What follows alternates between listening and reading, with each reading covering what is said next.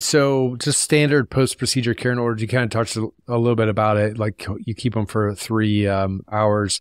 Are you having them lay on that flank, uh, like with a you know rolled up towel behind him or anything like that to keep pressure on the kidney? Uh, I don't, but like I usually go in the back, and so I just have them lay supine. back. Um, yeah, yeah, on their back. But um, yeah, I mean that might be a good idea to also put like a little towel underneath them to like have some added pressure. You know, because sometimes like you're you're biopsying within like kind of a crook of the back, like where that's Right. like not making ton contact with the bed surface. I haven't done that, but that's a pretty good idea. um, yeah. That's Doesn't what I typically anything. do. No, it's just I just have the nurse to say, "Hey, roll up a towel, put it along their flank, right where my where, where right where the bandage is, so they know."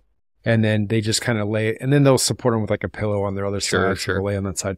And then yeah, mine's typically three hours. I I won't let them eat for another hour or two, and if they're pain free and their vital signs are stable, then I'll let them eat um, at like one maybe two hours, depending on how they you know how it went. And then I kind of feel like they're out of the woods and they can go ahead and eat. And you know, but sometimes they you know they wake up and they have some tenderness, and I will just take the ultrasound machine over to post op or post you know uh, day surgery and I'll scan them real quick and make sure there's no hematoma. If there's a hematoma, I'll take them to CT. And if there's a big hematoma, then I'll take them to the lab. Um, it's, uh, it's rare, but it can happen. And, uh, you just got to be kind of mentally prepared for it.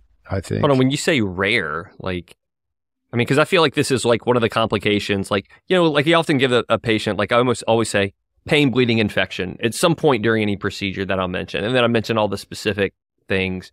Yeah. I mean, like, infection to me is rare, like in any of the biopsies and stuff we do. Like, I don't know if I've ever seen an infection. Um, that's not true. I'm, I'm sure I have, but I just can't think of it. But like bleeding, well, I feel like this comes inter- up. Ble- bleeding itself is not rare. In- intervention on bleeding uh, is rare.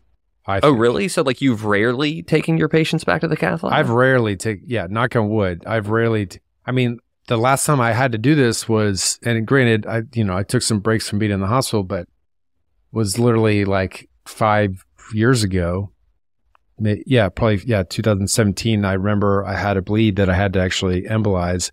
So, but you know, you just jinxed me. So the next renal biopsy that I get, I'll just expect to take to the lab. I would I would love to like get some. I, I wish we could do an audience poll um, because this and and maybe like I'm taking mine to the cath lab too soon or something. But like I've taken like you know in the seven years I've been doing it, I don't know maybe like one a year or back to the cath lab. You're pro- Chris. You're probably doing more than I am. Oh, we do I a mean, ton of renal. Yeah, that, that's a good point. We do we do a ton of renal biopsies. Yeah. Um, but okay, th- that's a good point. well, point. you're a Um, full time practitioner. I'm part time practitioner. So yeah, you know, by sheer volume, you're Okay. st- statistically more likely to have I see. I these see. than than I am.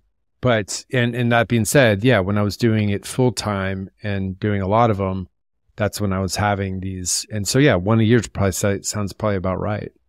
yeah. Okay. That's still rare. I mean, one a year when you know, I mean, like how many renal biopsies do you in a year? Fifty, a hundred, you know, fifty to hundred probably. feel like it's like 150. Um, I don't know. I'd have to get the numbers, and, and So- I don't. I don't know. I, w- I would actually. I wish I had my numbers with me because I because it. I guess like there's also the thing that like it sticks with you. Like anytime you Yeah, have totally. like something like that and it sticks with you because like these are like the last patients you want to take back to the cath lab. They're usually sick. They usually have renal impairment. Yeah. Um, but That's Yeah. why I hate them because that memory Sure. of th- that trauma, like you, you see it in their face. They're scared, I know. I know. and you're like, this, you know, I, it's it's hard because you're kind of like, I told you this could this could happen, but they're scared, and you're scared because maybe their blood pressure's tanking, and you know they're in a lot of pain, and you got to get that embolized very fast, and so that's really what sticks. I mean, I, I remember the patient's family's faces, the Mhm. patient, everything turned out great, but I remember that traumatic, the, that trauma of, uh, you know, just having to talk to them about, look, the, it's bleeding, it's bleeding fast. We got to take care of this now.